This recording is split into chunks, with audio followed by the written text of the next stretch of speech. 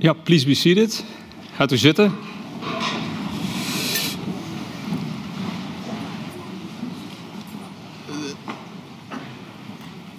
Welkom, uh, dames en heren, ladies and gentlemen, welcome. Um, welcome to uh, all family members, friends, colleagues, students, uh, people who know Maarten, or people who are interested in the topic. Welcome. Welcome to this, what we call the Blauwe Zaal at Eindhoven University of Technology. I'm, by the way, Bart Smolders. I'm the Dean of uh, the Department of Electrical Engineering. And it's an honor for me to give a short introduction into this uh, very interesting inaugural speech of uh, Maarten Polides. I'd like to start with uh, with, with a word which is very important in the story of Maarten, and that's in Dutch it's uh, called warmte. Warmte. And uh, you can translate it into two ways. The first translation is uh, heat, you know, warmte as we call it, heat. And today we had a symposium about a lot of things, and of course, uh, some of the stories also touched upon uh, hyperthermia. And I, am sure that all, also the family members uh, have heard about uh, what it is already from Maarten. But hyperthermia is uh, the treatment of cancer uh, using heat uh, with a special kind of radiation using microwaves. And I had a discussion this afternoon with one of the PhD students working on one of the projects of Maarten. And I said to him, I asked him, is this really microwaves? It's at operating at 400 megahertz. So I thought it was not really microwaves, but Mars is going to tell more about them.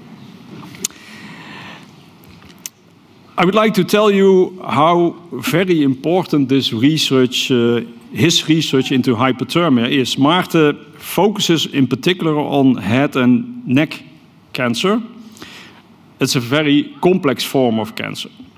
And worldwide, uh, at least in, in 2020, uh, this terrible disease was diagnosed in 562,000 people, which is a large number uh, worldwide.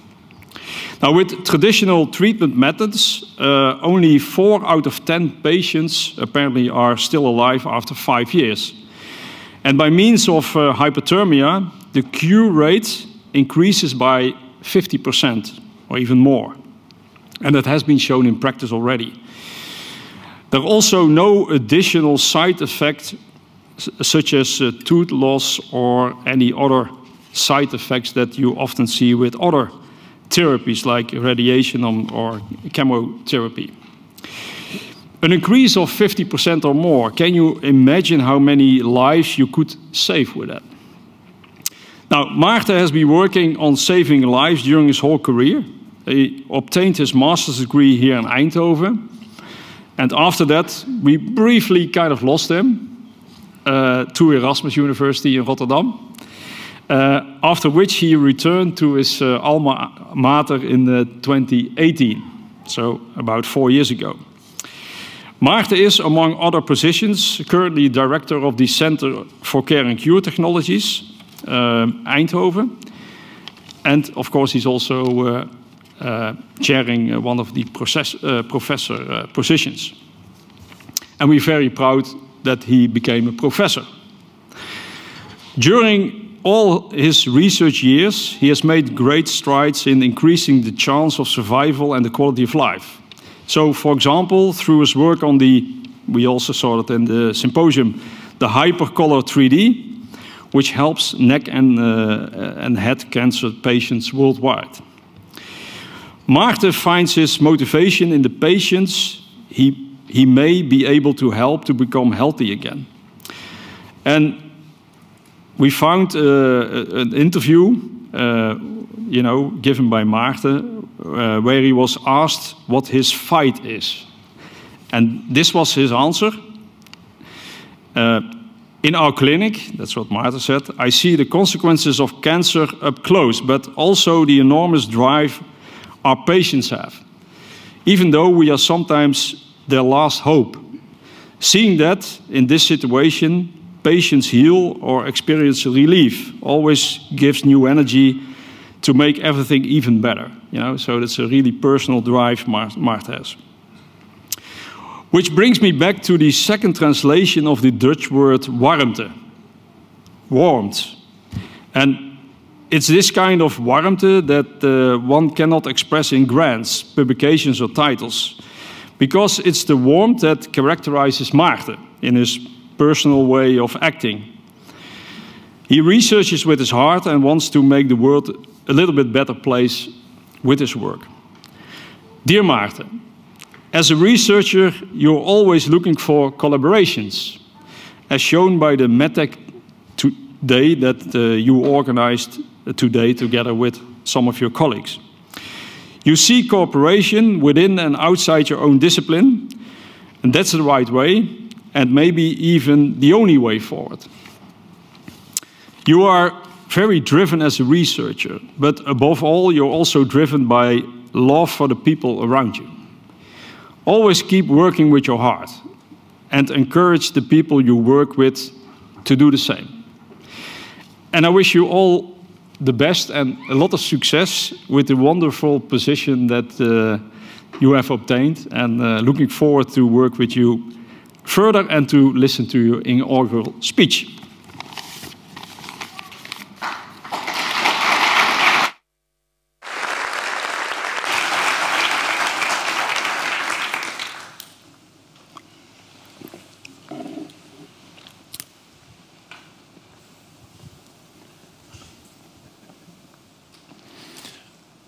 Today I find myself at the very same place where I was in 1997 when I was visiting the open day of Eindhoven University of Technology.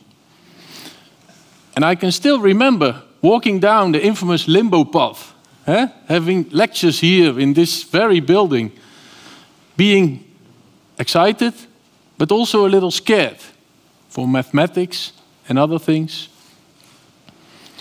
Thank you. Rector Magnificus, uh, dear Bart, thank you. Thank you, uh, colleagues. Thank you, friends, family.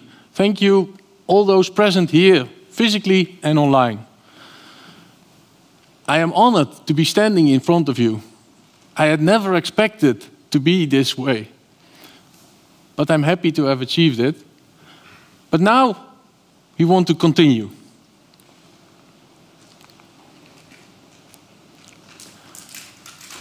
Long ago, when you had a headache, people would put a stingray, a, an, an, animal like this, eh, up to your scalp to relieve from the pain. They had no idea what they were doing. And in this speech, I would like to argue that with technology, we can now do it in a reproducible, predictable way. I also would like to argue why, and I think it's a bit controversial in this university, I think we should uh, trust more on modeling than on experimentation. Besides that, as a subtitle, I have research in the Golden Triangle. Well, we have had it before, heard it before, and especially those visiting the TUE MedTech Day. Because I believe that the only way forward in the medical field, medical technology field, is by collaboration. This research is an honor for me to do. Because, as Bart already mentioned, it's very close to my heart. I really want to use my inspiration for the good of society. If we look at uh, life expectancy, fortunately, it has grown, uh, increased a lot over the years. And the reasons for this is because of improvements in hygiene, nutrition, diet, and also access to healthcare. And technology has an important role in many of those elements. And if we look to the Netherlands, we see that an even further higher life expectancy at this moment is obtained. But we also see a gap. We see a gap between the life expectancy worldwide and the one of the Netherlands. And even in the Netherlands, we also see differences. I believe that technology can make a difference here. I believe that the results we obtain in a few can be translated to many. The other problem we are facing is the constant rising of cost of healthcare. And here again, I believe that medical technology is not the problem, but the solution. Medical technology helps to get similar or better results at lower cost.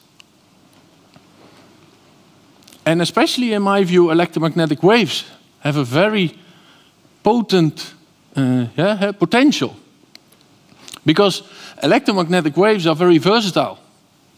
Uh, depending on the, the, the, the, frequency, so the, the, the speed at which they uh, operate, they have very distinct properties.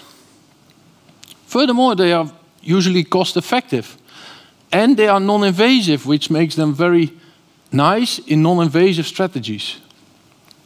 So examples of this are, for example, neuromonitoring.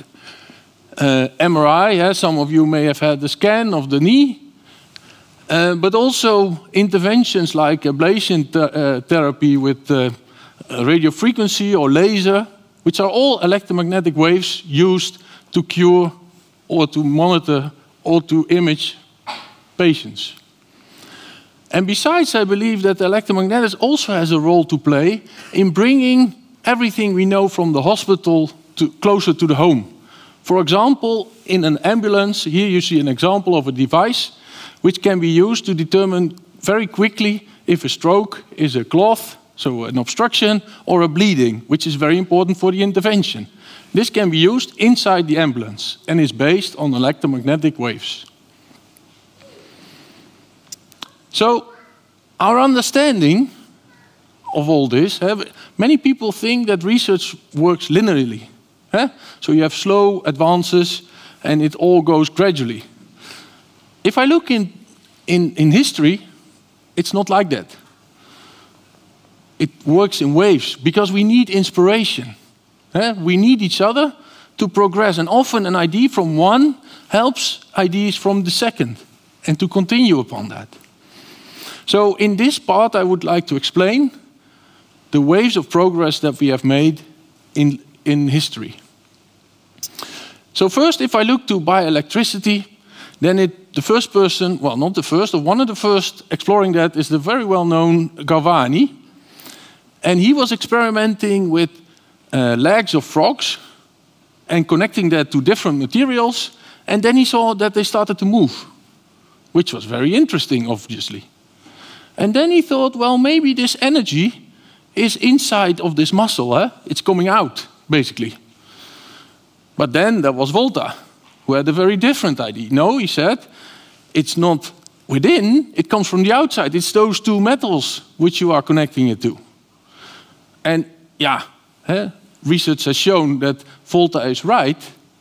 But I, what fascinates me here is the debate they had and how they got to solutions.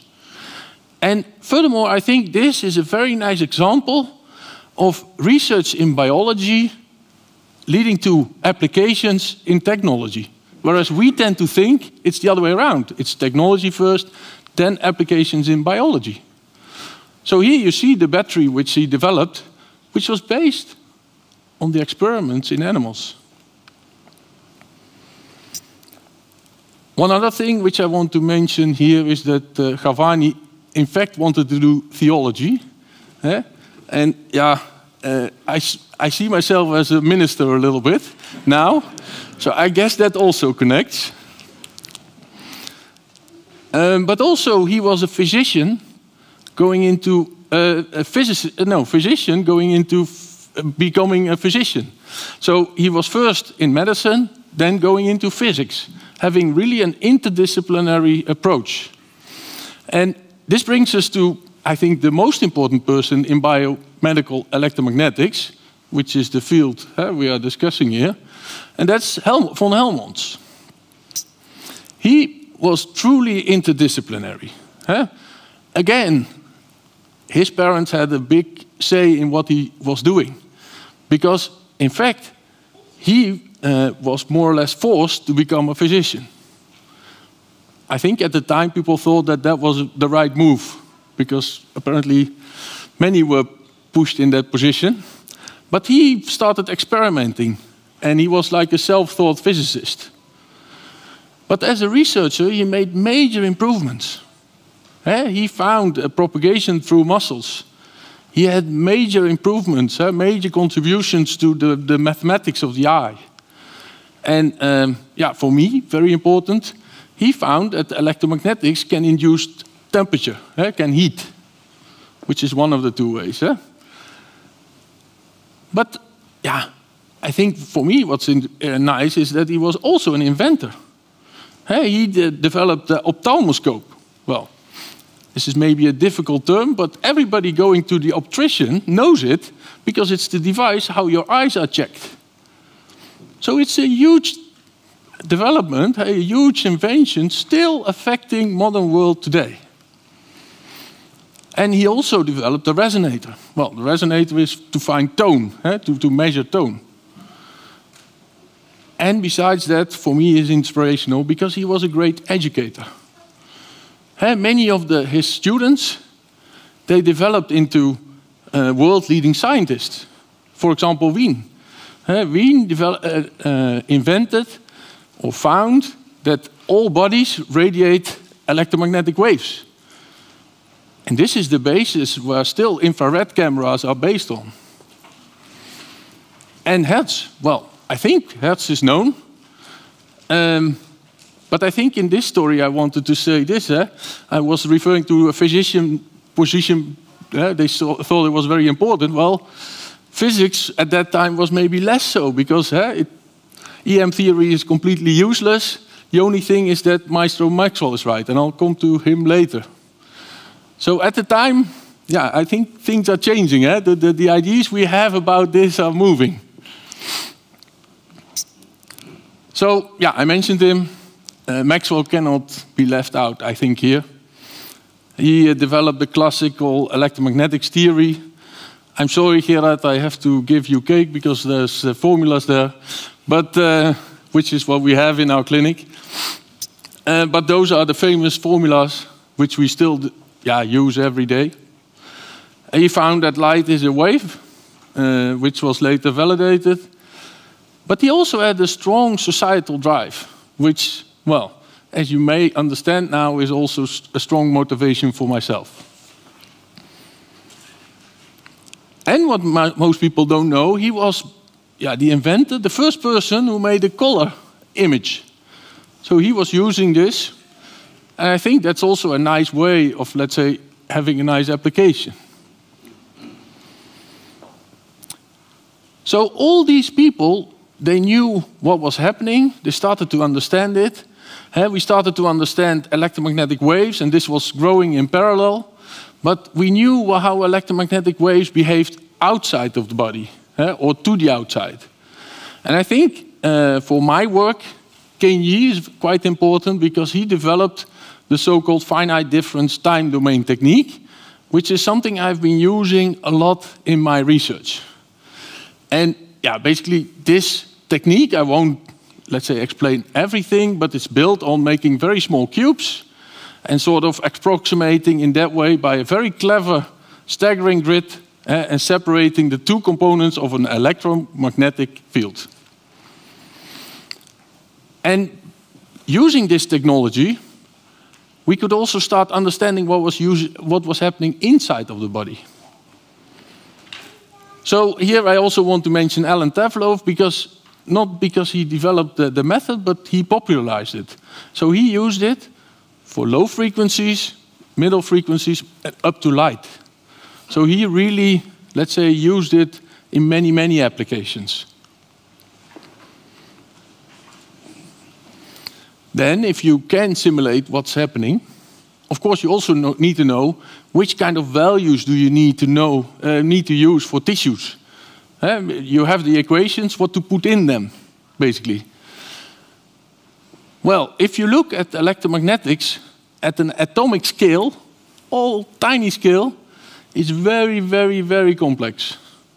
This is about how electron clouds respond to fields and then there's neighbors affecting also the fields at the one. And so it's really complex. And let's say the fields are also wildly varying.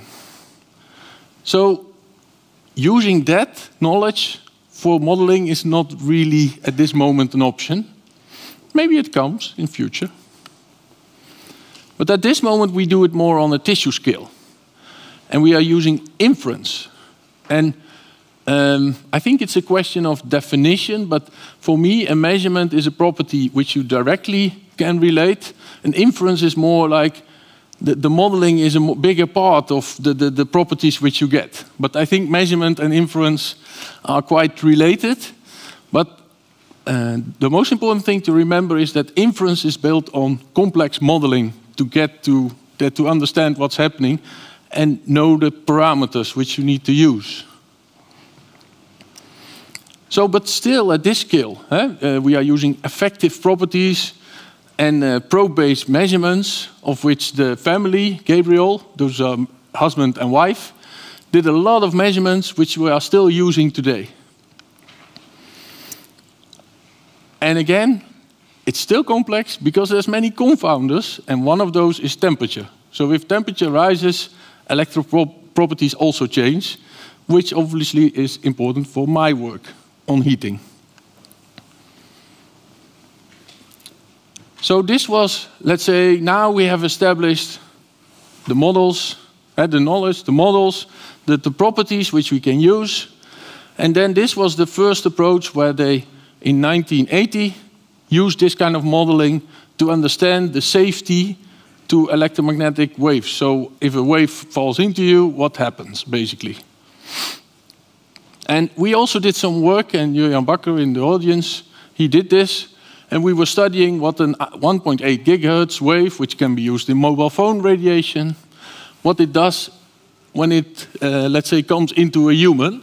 And this is the electrical component of the field, which you see, where white is high and uh, black or blue is low. And then you can see that the waves indeed propagate into tissue. And uh, you see that it even reaches the brain.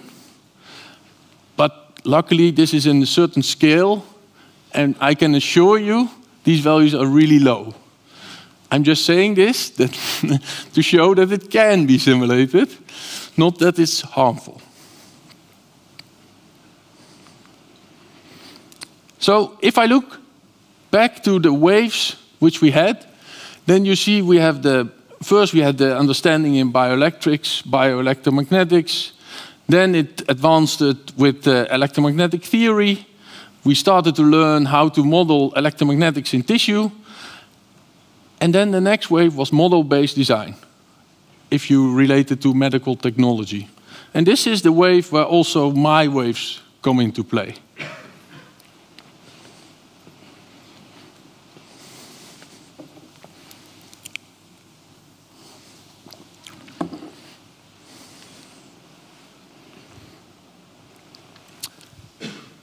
So, I'm getting back to this where it started. Where did I get inspired? Well, I guess it was here. And this is the factory of my father. And this is also my brother who took over. So this is where I found that using electricity you can start movement, eh? which was magical. And it was so magical that after finishing my HAVO degree, so my high school, I didn't want to go on a holiday, but I wanted to explore that further. And I did that when I went to Wales, to the Gower. And it's magical because of the waves. Well, I think that fits the theme. But it's also magical because there I, I uh, well, I was working on uh, drives. So basically, those drives, they drive the motors here. So this is like a two unity, these components. But mainly there, I, uh, I, let's say, got in touch with Howard, uh, Howard Kinsey, which was the person I was staying at the time. He was also the, the, the director of the company. And he inspired me to learn not only about more about electromagnetics, but also to go to academia. He really said, What are you doing? Eh, where you're doing, you should go to university. Eh? this is where you, and we even made plans to go to the, the to the UK, uh, to, uh, I know, somewhere near London, I think, Cambridge, I don't know, but uh, we had concrete plans then. So basically, I didn't do that. I came at this very place, Eindhoven University of Technology. And during my studies, I got more inspired in electro electrical engineering, but specifically electromagnetics attracted me. And I don't know if it was because it was often seen as the most complex subject, I don't know. I know it was at the time, and I think it still is. um, but I know also that at the time when I needed to do an internship, uh, this was in the Flux building, I was taking up the elevator because I was going towards the room of Professor Anton Tijhuis. And this was like this dark corridor at the time. Uh, the 13th floor, really the highest at the building, coming into the room. And, uh, well, there were stacks of books everywhere and no clean desk principles. It was like stacked with papers everywhere. And uh, we had this discussion or this talk about what can I do on an internship. And I'm very pleased you're here, Anton.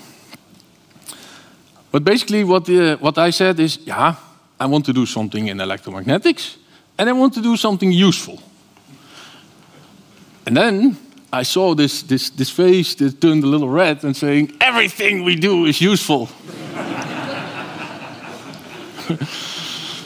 I think you still remember. okay, but still, he was uh, willing enough to help me. And uh, I went to uh, this place where I learned about uh, let's say this was a Supélec, which is near Paris, and it's uh, what they call a grande école. And there they were studying using electromagnetic waves to image yeah, uh, tissue or things, let's say. And I think the device doesn't look that advanced, but it it was nice as an intern. I could really work on it. I was in that water pool doing measurements and uh, soldering, and well, soldering outside, but. And uh, also, I want to mention Jean Michel Geffrin, because he really inspired me to go into the biomedical, uh, biomedical electromagnetics. Eh? This, this assignment yeah, was very important to me. And I think it is. I think we as a staff should realize how important these kind of things are when we, let's say, help students go somewhere. Eh? This, is this can be really decisive. So, oh, uh, what I also want to mention is, of course, this, this device was intended to be used as a monitoring device for a hyperthermia applicator, which at the time was in Utrecht. That was the intention. So he also taught me about hyperthermia, the existence. And I thought, well, that's interesting. I want to know about that. So then I started to learn about hyperthermia, that it has a lot of effects, a lot of biological effects. And yeah, I can go through all of those, uh, but let's uh, not do that. Let's just say that it's a temperature dependent effect. Yeah, multitude of effects. So all these effects are dependent on temperature and they are very different effects. So they can be uh, stimulating immune therapy, they can stimulate chemotherapy, they can stimulate radiotherapy, or, or all, depending on which effect you look at. And uh, yeah, uh, Professor Zwamborn unfortunately is not here. But uh, then I met uh, Gerard van Rhoon, and we started working on a master project developing the head and neck applicator. Well, Bart told you about it already a bit. These were one of the first simulations we did, where we showed that indeed we can focus energy using, uh, well, this was four sources, I think, at 433 megahertz. Doesn't matter, it's doable. And then based on that, we got the KWF project. Uh, we, we, so we can start also doing a PhD. And uh, yeah, I think what is nice about this consortium is that it combines sort of also uh, academia with the clinicians. So that's the theme of today, the golden triangle. I think it's also in here. So the result of that work was the HYPERcollar. And um, let's say we also showed in simulations that in this, with this device we can nicely focus the heat to the target region, where the target is the green contour. The second, uh, so that was a model-based development. So I think what is important here is that for the first time, we used the modeling to, de de de uh, to design the device. So basically, we went to the clinician, asked him, Peter Levendag, what he wanted, what he needed, and then designed using modeling the device which fits that. And we also developed, based on that, the model-guided treatment. So in this treatment, what you do is you take a lot of images, CT, MRI, eh, as we said, you know where the tissues are. With that, you can make a 3D patient model. You can do the electromagnetic simulations using, for example, the FDTD technique, which uh, we, uh, we, we had before. And we can do optimization, optimizing the heat delivery to the target region. But this is again model guided. And uh, also we use the modeling to develop prototype 2. And uh, yeah, of course, yeah, it doesn't look like it was designed, but that's coming. Um, and also, of course, it's important to do the validation. So we validated using electrical field measurements the, the simulations.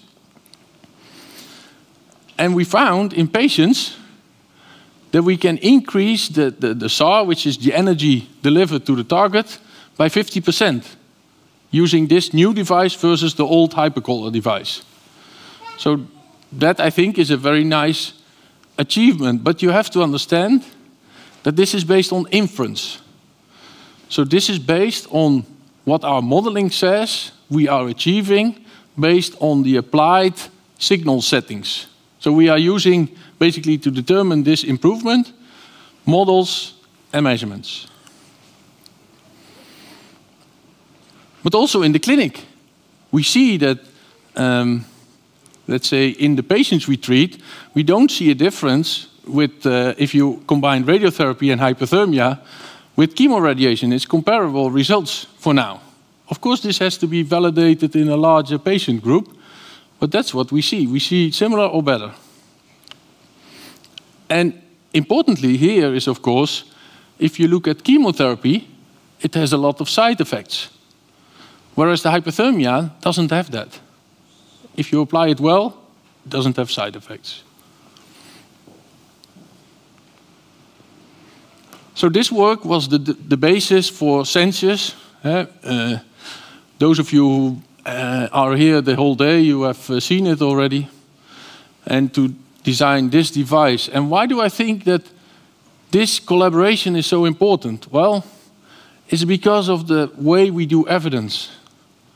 If you want to get up in the scale of evidence, level 5 is the lowest, level 1 is the highest, you, do, you need to do so-called randomized controlled trials, where you expose some patients to the treatment and some you don't. And basically you compare those two groups, and it's randomized. Eh? You do with the uh, with uh, you by chance you determine which one is treated and which one is not. So you have comparable groups. But to really demonstrate this, you need big groups of patients. And the only way to do that is if you have multiple clinics working together. Well, those clinics need a device. And this device can only be delivered to multiple clinics if you have a company. So here the company is really yeah, a necessity. So here, if you look through the path towards widespread adoption. You see that we made a number of strides. And I'm happy to say that uh, based on the retreatment, so hyperthermia given to the second time radiation, first time failed, second time radiation with hyperthermia, we are now also, uh, let's say, developing a study where we really apply the temperature, uh, uh the heating, to first time radiation, which is a major step. And yeah, I've been talking about hyperthermia all the time, But there's many other ways, let's say applications where you can apply the same procedure. And this is uh, neuroscience, which is, let's say, uh, a topic I got into when I started here in Eindhoven. And I have two examples where I think the model-guided design really pays off. And the first one is together with Rob and Massimo, we are looking if we can use a new type of uh, focusing using the nonlinearity in biology. So really understanding biology, what it does, and using that nonlinear nature to focus the neurostimulation. And why is this so important? If you normally do neurostimulation now from the outside, then you use long waves, so you also focus it at a very big region. And what we want to do is stimulate a very small region. And here we are using, exploiting the nonlinearity in biology to be able to do that on a precise way. Well, that's the hope. The second application where we are looking at at this moment is to restore vision. And we are uh, in a big consortium looking if we can, let's say, people who are blind can restore that again by placing a camera and then injecting those signals directly at the vis visual cortex. So not going from the eye through the visual, uh, what is it? The, the, towards the center of the brain and then outside to the visual cortex and then interpreting, but to go around that by technology. And here again, this is uh, yeah, work with Sander and Leroy. And again, this is uh, an example where the modeling plays a crucial role.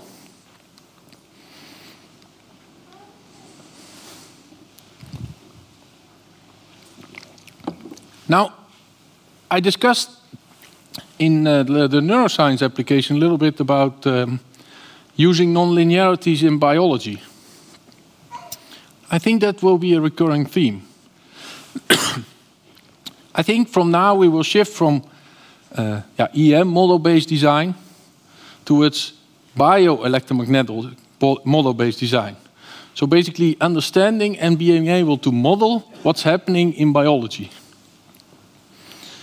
And um, yeah, uh, I think the first application here is already what we have been doing in hyperthermia. So we have been trying to understand what temperature is doing, eh, which the temperature is, and we do that by placing probes. Well, probes is obviously uncomfortable for patient. Eh? You cannot pierce uh, a lot, and you have information only at the probes, so only few locations.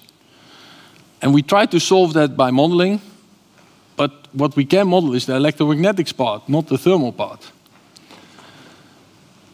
And what is more important, if you look at hyperthermia, the most effective part is between uh, 42 and 43, depending on which uh, treatment you combine it with. Uh, if you combine it with chemo or radiation, the temp optimum temperature can be different. For example, in immune therapy, you need a lower temperature, radiotherapy, it's higher. But in essence, it should be a well-defined temperature. And we cannot do that by the technology at this moment. So there we have, therefore we refer to MRI, magnetic resonance imaging. And on the right-hand side, you see the image. And indeed, Ruben, this is the picture of you. and uh, yeah, well, I was not allowed to say that he can explain everything about MRI. But um, uh, what for me is important is that we can measure anatomy with it, eh? know where the structures are. But moreover, we can also measure temperature with it. And uh, here you see an example of, uh, let's say, a tumor in the leg. And you see uh, a red contour indicating where the tumor is. And you see in the color scale, so the red is, let's say, where there's heating, and then gradually going to the blue where it's uh, not heated. So you can see that we can nicely track that. This technology is very powerful. So we wanted to also develop that for the head and neck, eh? Because in the head and neck, we want to focus very tightly, so we need to know exactly what's happening. So that's why we developed the MR collar. And there is a poster outside, so if you want many more details, you can look. What we also developed is integration of MRI coils inside the device. Well, this sounds like an easy job. It's not, because we had to redevelop the whole antennas and then integrate those dedicated coils into it. And luckily enough, it works. And uh, before explaining this, I should say that the temperature measurement is a very, uh, very subtle measurement. There's a lot of confounders which can affect this temperature measurement. So it's very important to have a very high signal to the noise. Uh, you, don't, you want a very uh, strong signal and you don't want the result to be affected by noise. And um, what we showed is that indeed, if you look at the, if you use the traditional setup on the, what is it, left, then you see a very grainy image in the region of interest, which is, let's say, the phantom where the patient should be. And on the right-hand side, you see that it's much clearer. And also the SNR image shows that there is a five-fold increase. Well, this directly translates in five-fold increase in imaging speed. And why is that important? Well, if you do a head and neck treatment, the patient doesn't fully lie still. It has to breathe, it has to uh, swallow. And to be able to correct for all that, you need the image really fast. So the faster you can go, the better you can correct for those kind of, let's say, influences. So here, this five-fold increase directly translates in faster imaging and therefore less artifacts. And let's say the importance of those kind of things I can show here, where we see the temperature profiles during pelvic hyperthermia. And then you see that at baseline there is very little temperature. After 50 minutes, you see that indeed there is a, let's say, a heating zone. But you also see that there's a lot of, let's say, artifacts. And especially at the front, for example, there is uh, gas moving, and there is uh, intestines, and there's all kinds of motion. These affect the imaging. And in some patients, it's even worse. You really have signal, what we call the signal void. The signal is fully out. You don't see anything. So this is a big problem for us. And how do we want to solve that? Using the modeling. So here you see some images on the left with the MR thermometry, the, the, the magnetic resonance temperature image. And there's the unfiltered, the filtered, which was, let's say, the, the filtered one is the approach we already developed as an improvement for the clinical. And then on the right, you see the POD Kalman approach. Well, you can forget about that. What you can remember is that it's really using the modeling, knowledge from the models, combined with the measurements, and together you try to estimate what the best temperature uh, distribution is. And with that, we can really see that it's much smoother pattern. But we can also see that there are some regions where there's no, uh, yeah, where the POD Kalman results were a bit, uh, yeah, inaccurate. Eh? So the, uh, at the arrows, those are the places where the model was incorrect, basically. So we need to improve the model at those locations. And we know how to do that, but this is, let's say, work in progress. So here, this is a very nice collaboration we have with the lab of uh, Maurice Heemels, where we are looking if we can use those images also in a direct feedback loop. Um, so we are studying if uh, model-based predictive control can be used to guide the heating settings based on the measured MR thermometry distributions. Yeah, eh? as we said, the problem here is that we have the, the artifacts and the motion, uh, what is it, the, the, the missing data, and the motion artifacts. So these we have to account for. So that's where the POD Kalman came in to improve that, to get a better estimate. And let's say the improvements in the model, for example, where the patient lies, uh, is something we can also improve. Because the MRI is not only a temperature measurement device, you can also measure anatomy. Where is the patient inside the device?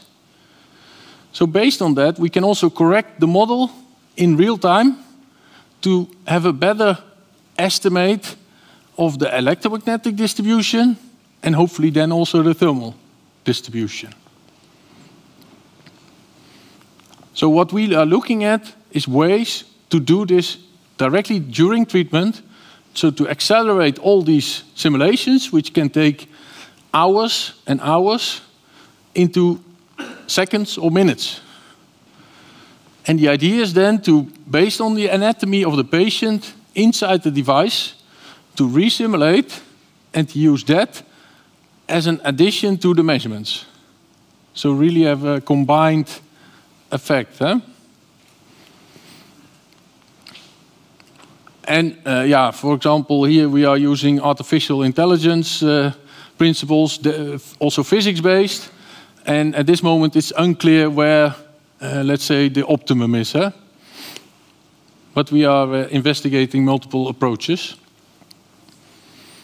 So if I look here, then the MRI to me is a very powerful machine in bioelectromagnetics because it helps to infer the bioelectromagnetic tissue properties during treatment.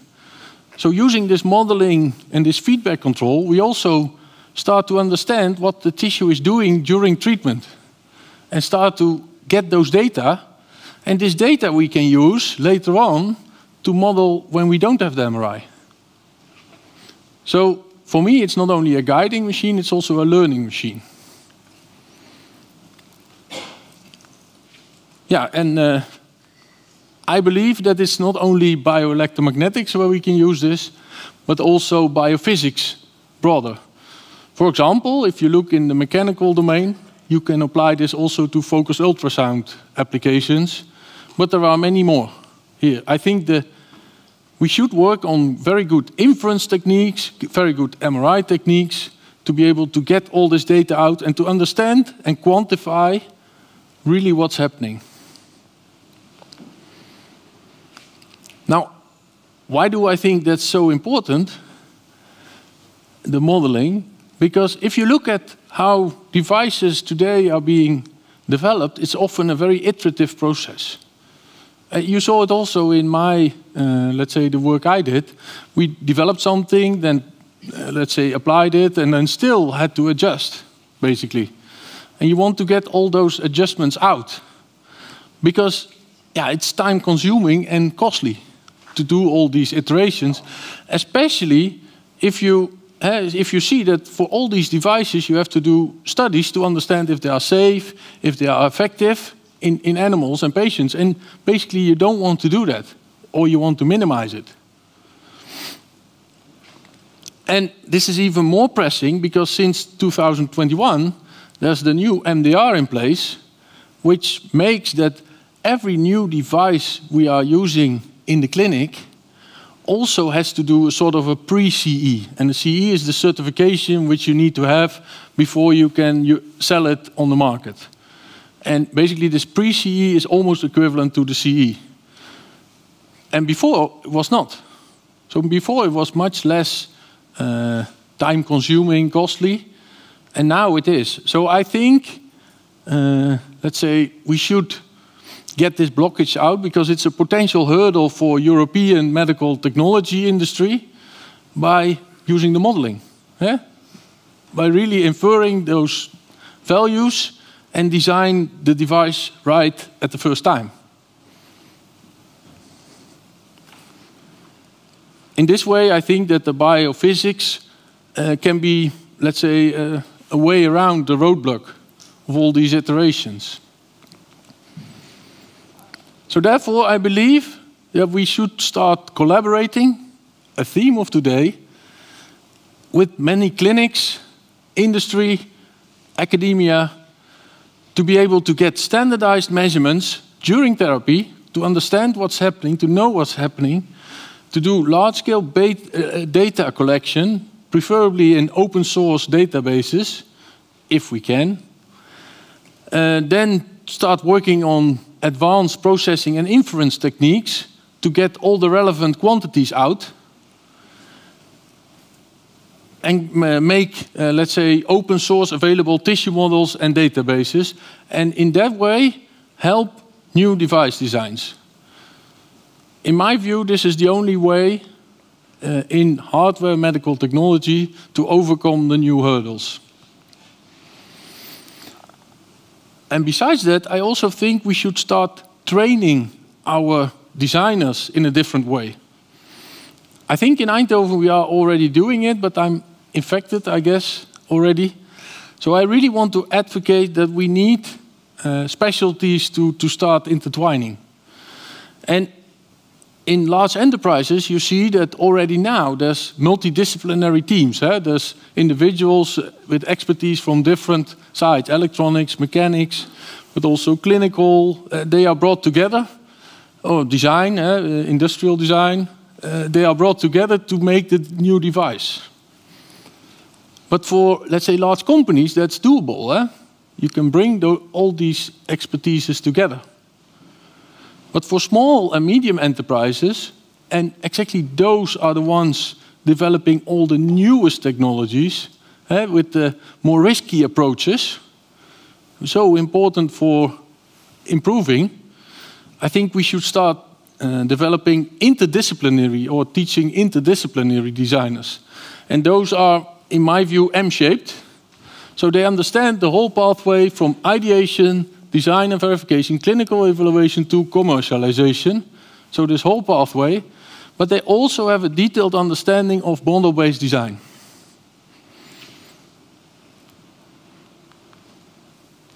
And here I think that the, the triangle, of course, is very important. Because, yeah, for the large enterprises, you are doing that collaboration, eh? But training those individuals interdisciplinary, you can only do in the Golden Triangle eh? with industry, with clinics, and here. So I believe that we are uh, looking at the new wave on biophysics model-based design, which enables designing effective and cost-effective medical devices I believe that standard MRI-guided treatments enable to infer the bioelectromagnetic and biophysics tissue models under treatment conditions. And I also believe that uh, if we want to exploit this new wave, we should try start training the interdisciplinary designers, and the collaboration is really important. And I also think that we should do this not only for the Netherlands. It's really important that technology takes its role not only to improve our situation here, but also in the whole world. And that's why I want to answer, yeah, to conclude this part with we must constantly realize that time is always right to do what is right.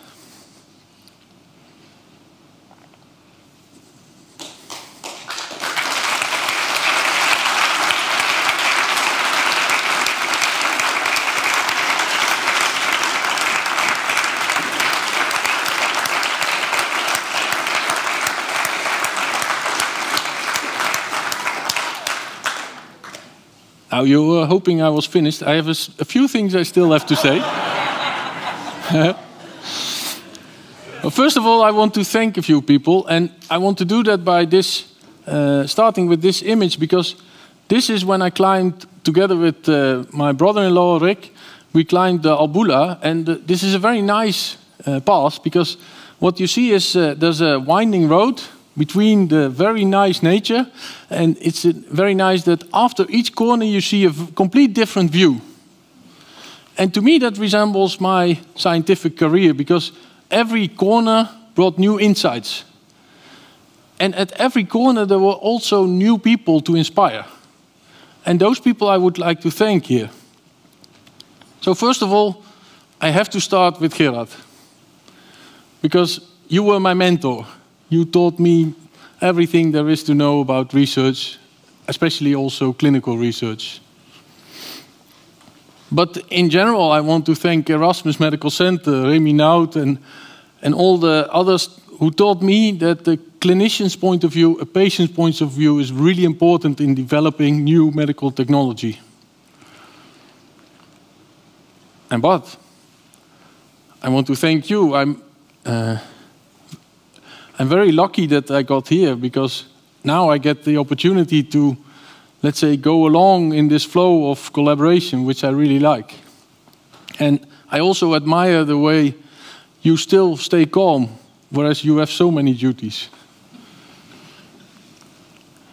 Uh, I also want to thank uh, Massimo Mischi and Jan Bergmans for teaching me how to do research in the Golden Triangle.